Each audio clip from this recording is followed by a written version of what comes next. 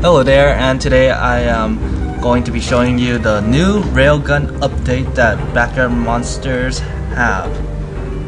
And it's under Buildings, Defensive, and here it is, Railgun. You can build two of them. Right now I just started one of them and I'm going to show you the other one. Well, apparently all of my workers are busy, so I'll just have to stop one of my upgrades. Build.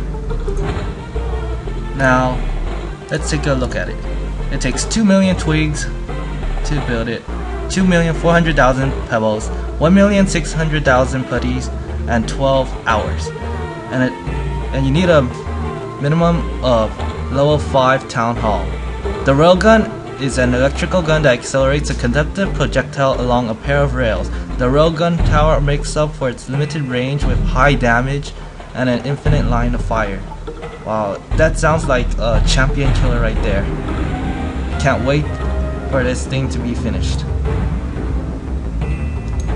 And not only that, if you haven't noticed it yet, but the new background sound is not from my computer, but rather it's from Backyard Monsters itself. As you can see on the upper right hand corner right here, there's a new music icon right here to turn on the music or turn it off.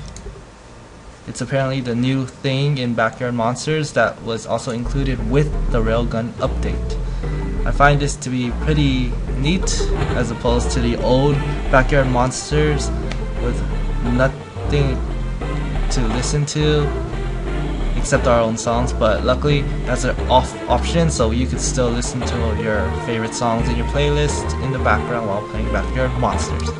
And that concludes for this video and thank you for watching.